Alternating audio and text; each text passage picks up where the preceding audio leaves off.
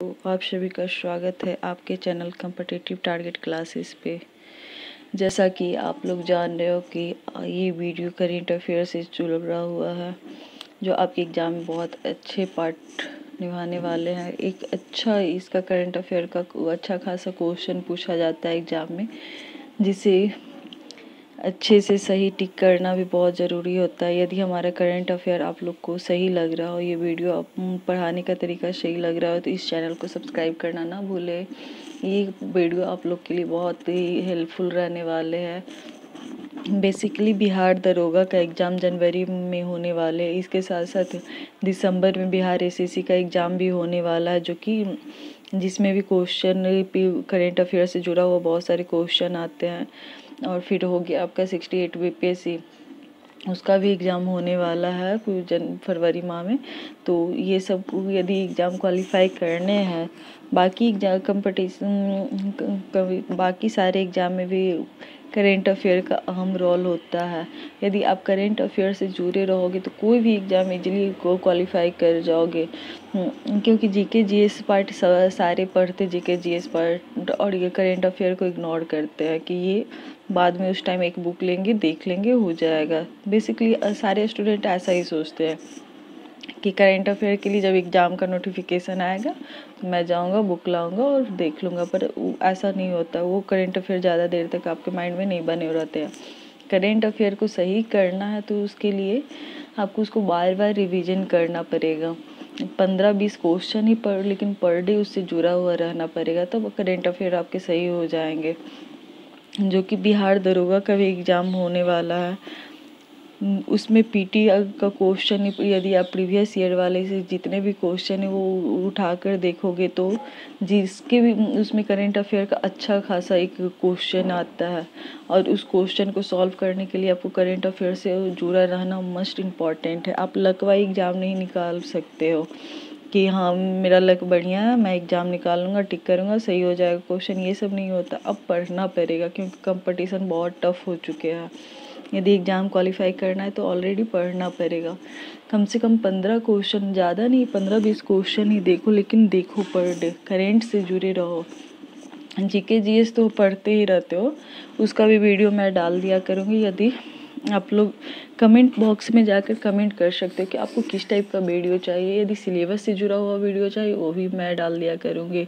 और यदि हमारा चैनल अच्छा लग रहा हो तो इसे सब्सक्राइब करें लाइक करें और दोस्तों में शेयर करें। ये वीडियो आप लोग के लिए एग्ज़ाम के लिए बहुत हेल्पफुल रहने वाले हैं। ये ज़्यादा लंबा वीडियो नहीं होता है दस से पंद्रह मिनट का ही वीडियो रहता है।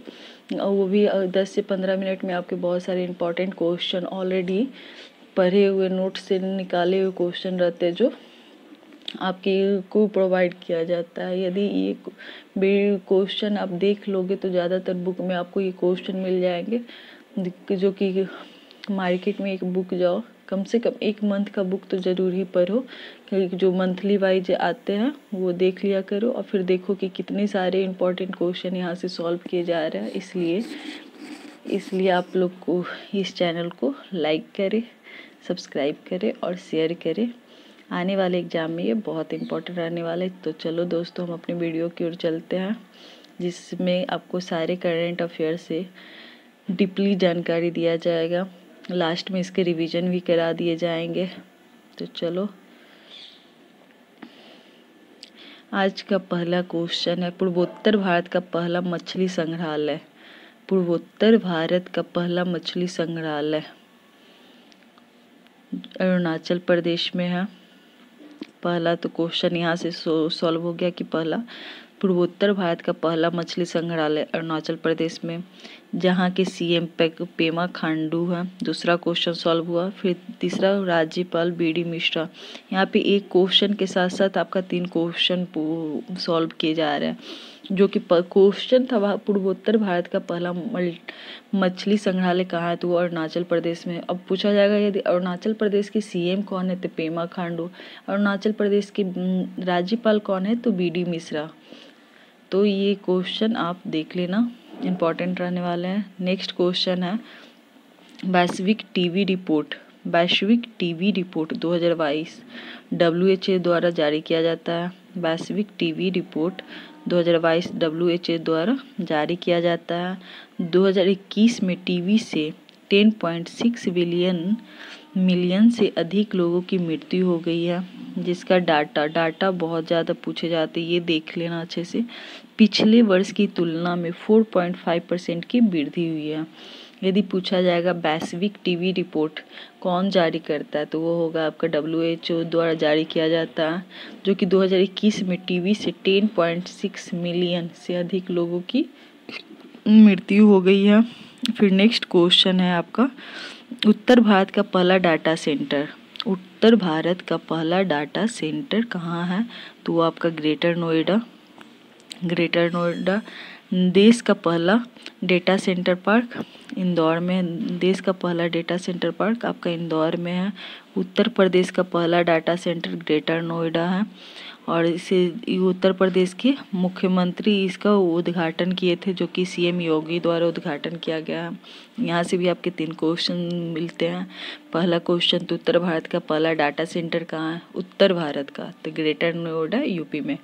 सेकेंड है, देश का पहला सेंटर पार्क इंदौर में।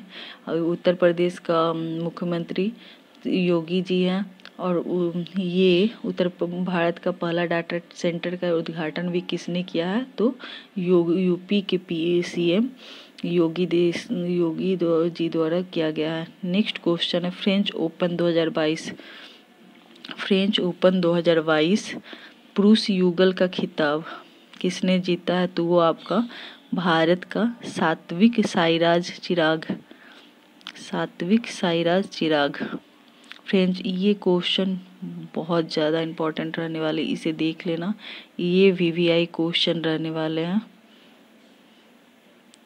वीवीआई क्वेश्चन रहने वाले हैं। फ्रेंच ओपन 2022 फ्रूस यूगल का खिताब सात्विक साईराज चिराग ने जीता है। अपने नाम किया है। नेक्स्ट क्वेश्चन है। ट्रेक एशिया कप कहाँ आयोजित किया गया है? ट्रेक एशिया कप 2022 कहाँ आयोजित किया गया? तो ये आपका केरल हो गया। केरल में ट्रेक एशिया कप आयोजित किया गया। नेक्स्ट है जो जिला युद्ध स्मारक। जो जिला युद्ध स्मारक। ये हो गया आपका ट्रांस लद्दाख में। जो जिला दिवस एक नवंबर को मनाया जाता है।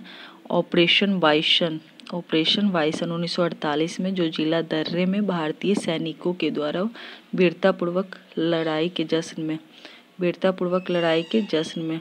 1948 में जो जिला दर्रे में भारतीय सैनिकों के द्वारा वीरतापूर्वक लड़ाई के जश्न में मनाया जाता, बोला जाएगा जो जिला युद्ध स्मारक जो कि लद्दाख में क्यों मनाया जाते हैं तो ऑपरेशन बाइसन के समय 1948 में जो जिला दर्रे में भारतीय सैनिकों के द्वारा वीरतापूर्वक लड़ाई के जश्न में के रूप में मनाया जाता है, ये एक नवंबर को मनाया जाता है। नेक्स्ट, और नेक्स्ट, और ये बहुत इंपॉर्टेंट क्वेश्चन है, मानगढ़ धाम।